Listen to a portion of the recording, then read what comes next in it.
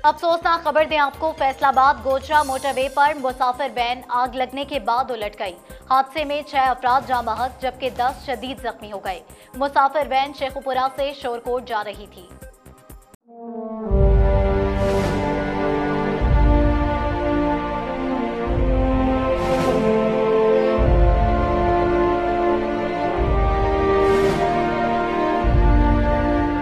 Rescue जराये के मुताबिक गोचरा motorway पर पेंसरा के करीब ट्रैफ़िक हादसा पेश आया है। मुसाफिर वैन में शॉर्ट सर्किट से आग लगने से गाड़ी बेकाबू होकर डिवाइडर से टकरा गई। ट्रैफ़िक हादसे में छह अफराद जाम बहक जबकि दस शदीद जख्मी हो गए।